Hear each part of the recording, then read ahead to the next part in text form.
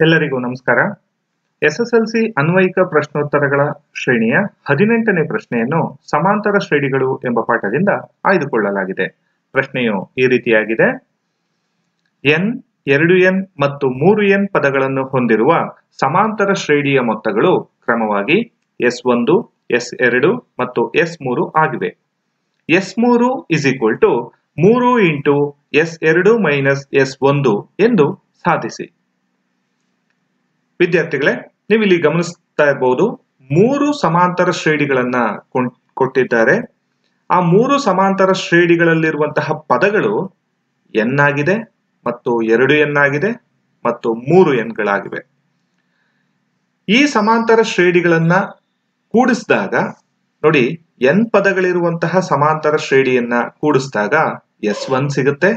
ಹಾಗೆ ಎರಡು ಎನ್ ಪದಗಳಿರುವಂತಹ ಶ್ರೇಣಿಯನ್ನ ಕೂಡಿಸಿದಾಗ ಎಸ್ ಟೂ ಸಿಗುತ್ತೆ. ಮೂರು ಎನ್ ಪದಗಳಿರುವಂತಹ ಶ್ರೇಣಿಯನ್ನ ಕೂಡಿಸಿದಾಗ ಎಸ್ ಮೂರು ಸಿಗುತ್ತೆ ಅಂತ ಅವರು ಕೊಟ್ಟಿದ್ದಾರೆ. ನಾವು ಈಗ ಸಾಧನೆ ಮಾಡಬೇಕಾಗಿರೋದು ಎಸ್ ಮೂರು ಇಸ್ ಈಕ್ವಲ್ ಟು ಮೂರು ಇಂಟು ಎಸ್ ಎರಡು ಮೈನಸ್ ಎಸ್ ಒಂದು ಎಂದು.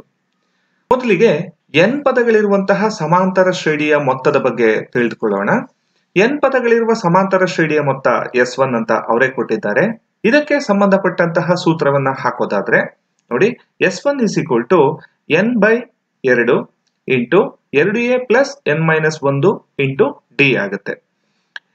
ಅವರೇ ನೀಡಿದ್ದಾರೆ ಎನ್ ಪದಗಳಿವೆ ಅಂತ. ಹಾಗಾಗಿ ಎನ್ನ ಜಾಗದಲ್ಲಿ ಎನ್ ಅನ್ನೇ ಹಾಕೊಂಡಿದ್ದೇನೆ. ಈಗ ಎರಡನೇ ಶ್ರೇಣಿಗೆ ಬರೋಣ. ಈ ಶ್ರೇಣಿಯಲ್ಲಿ ಎರಡು ಎನ್ ಪದಗಳಿದೆಯಂತೆ. ಅದರ ಮೊತ್ತ ಎಸ್ ಟೂ ಆಗಿದೆ ಅಂತ ಹೇಳಿದ್ದಾರೆ. ಇದಕ್ಕೆ ಸೂತ್ರವನ್ನ ಹಾಕೋದಾದ್ರೆ ಏನಾಗ್ಬೋದು? ಗಮನಿಸಿ. S two is equal to ಎನ್ನ ಜಾಗದಲ್ಲಿ ಈಗ ಎರಡು ಎನ್ ಅನ್ನ ಹಾಕಿದ್ರೆ ಮುಗೀತು. ನೋಡಿ, ಇಲ್ಲೂ ಕೂಡ ಎನ್ನ ಬದಲಾಗಿ ಎರಡು ಎನ್ ಅನ್ನ ಹಾಕಿದ್ದೇನೆ.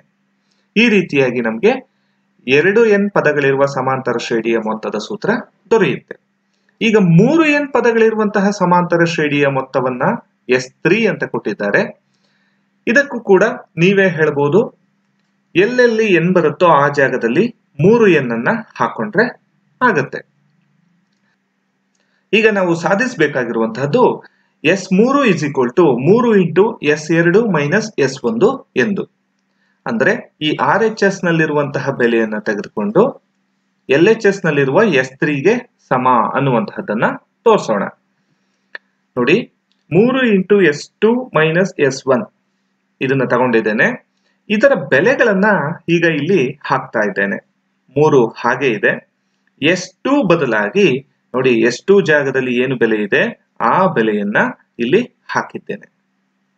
ಅದಾದ್ಮೇಲೆ ಮೈನಸ್ ಇದೆ, ಮೈನಸ್ ಅನ್ನ ಬರ್ಕೊಂಡಿದ್ದೇನೆ. ಈಗ ಎಸ್ ಒನ್ ಜಾಗದಲ್ಲಿ ಏನಿದೆ? ಆ ಬೆಲೆಯನ್ನ ಇಲ್ಲಿ ಹಾಕಿದ್ದೇನೆ. ಗಮನಿಸಿ, ಎಸ್ ಒನ್ ಜಾಗದಲ್ಲಿ ಈ ಬೆಲೆ ಇದೆ, ಇದನ್ನ ಇಲ್ಲಿ ಹಾಕಿದ್ದೇನೆ.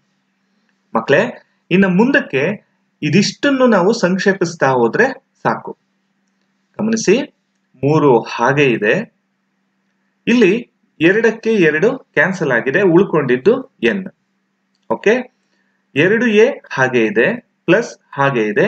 ಈ ಡಿ ಎನ್ನ ಒಳಗಿರುವ ಅಂಶಗಳ ಜೊತೆ ಗುಣಿಸ್ತಾ ಇದ್ದೀನಿ. ಎರಡು ಎನ್ ಇಂಟು ಡಿ ಎರಡು ಎನ್ ಡಿ ಆಗಿದೆ. ಮೈನಸ್ ಇಂಟು ಪ್ಲಸ್ ಮೈನಸ್ ಒಂದು ಇಂಟು ಡಿ ಒಂದು ಡಿ ಆಗಿದೆ. ಈ ಮೈನಸ್ ಅನ್ನ ಹಾಗೆ ಬರ್ಕೊಂಡಿದ್ದೇನೆ.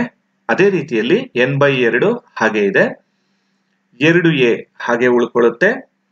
N into D N D ಆಗುತ್ತೆ ಮೈನಸ್ ಇಂಟು ಪ್ಲಸ್ ಮೈನಸ್ ಒಂದು ಇಂಟು ಡಿ ಒಂದು ಡಿ ಆಗುತ್ತೆ. ಹೀಗೆ ಇನ್ನೂ ಸರಳೀಕರಿಸ್ತಾ ಹೋಗೋಣ. ಮೂರು ಹಾಗೆ ಇದೆ. ಈ ಹೊರದಲ್ಲಿ ಹೊರಭಾಗದಲ್ಲಿರುವಂತಹ ಎನ್ ಜೊತೆಗೆ ಒಳಗಡೆ ಇರುವಂತಹದನ್ನ ಗುಣಿಸ್ತಾ ಇದ್ದೀನಿ. ಎರಡು ಎ ಇಂಟು ಎನ್ ಎರಡು ಎ ಎನ್ ಎರಡು ಎನ್ ಡಿ ಇಂಟು ಎನ್ ಎರಡು N square D plus into minus minus ಆಗುತ್ತೆ. D into N D N ಆಗುತ್ತೆ. ಅದೇ ರೀತಿಯಲ್ಲಿ ಬಲಭಾಗದಲ್ಲಿರುವಂತಹದ್ದನ್ನು ಕೂಡ ಗುಣಿಸ್ಕೊಳ್ಳೋಣ. ಆ ರೀತಿ ಗುಣಿಸಿದಾಗ ಮೈನಸ್ ಇಂಟು ಪ್ಲಸ್ ಮೈನಸ್ ಆಗುತ್ತೆ. ಎನ್ ಬೈ ಎರಡು ಇಂಟು ಎರಡು ಎ ಇದೆ.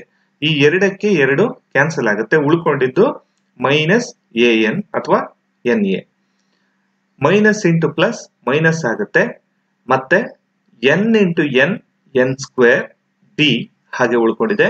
ಈ ಬೈ ಎರಡು ಇದ್ದಿದ್ದು ಇಲ್ಲಿಗೆ ಬರುತ್ತೆ. ಮೈನಸ್ ಇಂಟು ಮೈನಸ್ ಪ್ಲಸ್ ಆಗುತ್ತೆ. N into D D N ಈ ಕೆಳಗಡೆ ಇರುವಂತಹ ಎರಡು ಇಲ್ಲಿಗೆ ಬರುತ್ತೆ.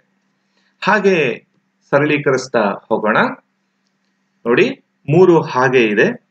ಇಲ್ಲಿ ಗಮನಿಸಬಹುದು, ಎರಡು ಎ ಎನ್ ಇದೆ. ಈ ಎರಡು ಎ ಎನ್ ಅಲ್ಲಿ ಒಂದು ಎ ಎನ್ ಅನ್ನ ಕಳೆದಿದ್ದೇನೆ. ನಮ್ಗೆ ಇನ್ನೊಂದು ಎ ಎನ್ ಉಳ್ಕೊಳ್ತು.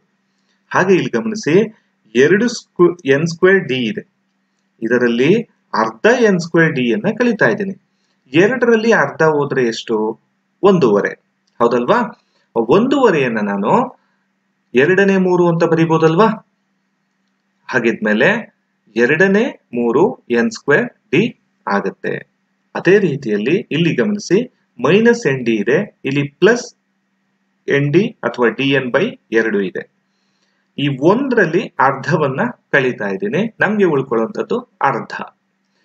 ಸೊ ದೊಡ್ಡ ಸಂಖ್ಯೆಯ ಚಿಹ್ನೆ ಮೈನಸ್ ಆಗಿರೋದ್ರಿಂದ ಮೈನಸ್ ಅರ್ಧ ಡಿ ಎನ್ ಆಗುತ್ತೆ. ಹಾಗೆ ಮುಂದೆ ಬರೋಣ. ಇಲ್ಲಿ ಎರಡು, ಇಲ್ಲೂ ಎರಡಿದೆ. ಈ ಎ ಎನ್ ಕೆಳಭಾಗದಲ್ಲಿ ಛೇದ ಒಂದಿದೆ. ಈ ಮೂರಕ್ಕೂ ಲಾಸಹವನ್ನ ತಗೊಳ್ಳೋಣ. ತಗೊಂಡ್ರೆ ಎರಡು ನಮ್ಗೆ ಲಾಸಹ ಆಗುತ್ತೆ. ಇಲ್ಲಿ ಕೆಳಗಡೆ ಒಂದಿದೆ. ಒಂದು ಇಂಟು ಎರಡು ಎರಡು. ಸೊ ಇಲ್ಲೂ ಎರಡರಿಂದ ಗುಣಿಸೋಣ. ಎರಡೊಂದು ಎರಡಾಗುತ್ತೆ ಎರಡು ಎ ಎನ್ ಪ್ಲಸ್ ಹಾಗೆ ಇದೆ. ಎರಡಕ್ಕೆ ಎರಡು ಕ್ಯಾನ್ಸಲ್ ಅಥವಾ ಎರಡೊಂದ್ಲಿ ಎರಡು ಅಂತ ಹೇಳೋದಾದ್ರೆ ಮೂರೊಂದ್ಲಿ ಮೂರು ಮೂರು ಎನ್ ಸ್ಕ್ವೇರ್ ಡಿ ಹಾಗೆ ಉಳಿಯುತ್ತೆ. ಇಲ್ಲೂ ಕೂಡ ಡಿ ಎನ್ ಹಾಗೆ ಉಳಿಯುತ್ತೆ. ಹಾಗೆ ಮುಂದೆ ಬರೀತಾ ಹೋಗೋಣ. ಇಲ್ಲಿ ಎನ್ ಎಲ್ಲದರಲ್ಲೂ ಕಾಮನ್ ಇದೆ. ಈ ಎನ್ ಅನ್ನ ಹೊರಗಡೆ ತೆಗೆದು ಬಿಡೋಣ ಜೊತೆಗೆ ಈ ಎರಡನ್ನು ಕೂಡ ಹೊರಗಡೆ ತೆಗೆದು ಬಿಡೋಣ ಅಲ್ಲಿಗೆ ಮೂರು ಬೈ ಎರಡು ಎನ್ ಹೊರಗಡೆ ಉಳಿಯಿತು. ಇನ್ನು ಒಳಗಡೆ ಉಳ್ಕೊಳ್ಳೋದೇನು? ಎನ್ ತೆಗ್ದಿದ್ದೇನೆ, ಉಳ್ಕೊಂಡಿದ್ದು ಎರಡು ಎ ಇಲ್ಲಿ ಎನ್ ಸ್ಕ್ವೇರ್ನಲ್ಲಿ ಒಂದು ಎನ್ ಹೊರಗಡೆ ಹೋಗಿದೆ. ಇನ್ನ ಮೂರು ಎನ್ ಡಿ ಉಳ್ಕೊಳ್ತು. ಇಲ್ಲಿ ಡಿ ಎನ್ನಲ್ಲಿ ಎನ್ ಹೊರಗಡೆ ಕಾಮನ್ ತೆಗೆದಿದ್ದೇನೆ, ಉಳ್ಕೊಂಡಿದ್ದು ಡಿ ಹಾಗೆ ಮುಂದುವರಿತಾ ಹೋದ್ರೆ ಇಲ್ಲಿ ಡಿ ಡಿ ಒಂದೇ ತರ ಇದೆ. ಆದ್ರಿಂದ ಇವೆರಡರಲ್ಲಿ ನಾನು ಡಿ ಅನ್ನ ಕಾಮನ್ ತೆಗಿಬಹುದು ನೋಡಿ, ಮೂರು ಎನ್ ಬೈ ಎರಡು ಹಾಗೆ ಇದೆ, ಎರಡು ಎ ಹಾಗೆ ಇದೆ. ಇಲ್ಲಿ ಗಮನಿಸಿ ಡಿ ಅನ್ನ ಕಾಮನ್ ತೆಗ್ದಿದ್ದೇನೆ. ಇನ್ನು ಉಳ್ಕೊಂಡಿದ್ದು ಮೂರು ಎನ್ ಮೈನಸ್ ಇಲ್ಲಿ ಡಿ ಕಾಮನ್ ತಗೊಂಡ್ರೆ ಉಳ್ಕೊಂಡಿದ್ದು ಒಂದು. ವಿದ್ಯಾರ್ಥಿಗಳೇ, ನೀವೀಗ ಗಮನಿಸಬಹುದು, ನಮಗೆ ಎಸ್ ತ್ರೀಯಲ್ಲಿ ಇದ್ದಂತಹ ಬೆಲೆ ಈಗ ಸಿಕ್ಕಿದೆ. ಗಮನಿಸಿ, ಮೂರು ಎನ್ ಬೈ ಎರಡು, ಹಾಗೆ ಇದೆ. ಎರಡು ಎ ಇಲ್ಲೂ ಎರಡು ಎ ಪ್ಲಸ್ ಮೂರು N minus one into D plus ಮೂರು ಎನ್ ಮೈನಸ್ ಒಂದು ಇಂಟು ಡಿ ಇದೆ. ಹಾಗಿದ್ಮೇಲೆ ಇದರ ಬೆಲೆಯನ್ನ ನಾನು ಎಸ್ ತ್ರೀ ಅಂತ ಬರ್ಕೊಳ್ಬಹುದು. ಹಾಗಿದ್ಮೇಲೆ ನೋಡಿ, ನಮಗೆ ಮೂರು ಇಂಟು ಎಸ್ ಎರಡು ಮೈನಸ್ ಎಸ್ ಒಂದು ಇಸ್ ಈಕ್ವಲ್ ಟು ಎಸ್ ಮೂರು ಆಗುತ್ತೆ. ಇದನ್ನೇ ಅಲ್ವಾ ನಾವೀಗ ಸಾಧನೆ ಮಾಡಬೇಕಾಗಿದ್ದು. ಈ ರೀತಿಯಾಗಿ ಪರೀಕ್ಷೆಗಳಿಗೆ ನಮಗೆ ಸಮಸ್ಯೆಗಳನ್ನ ಕೊಡ್ತಾರೆ. ಇಂತಹ ಸಮಸ್ಯೆಗಳನ್ನ ಮತ್ತಷ್ಟು ಬಿಡಿಸೋಣ. ಮುಂದಿನ ಸಮಸ್ಯೆಯೊಂದಿಗೆ ನಿಮ್ಮ ಮುಂದೆ ಬರ್ತೇನೆ. ಅಲ್ಲಿಯವರೆಗೆ ಧನ್ಯವಾದಗಳು.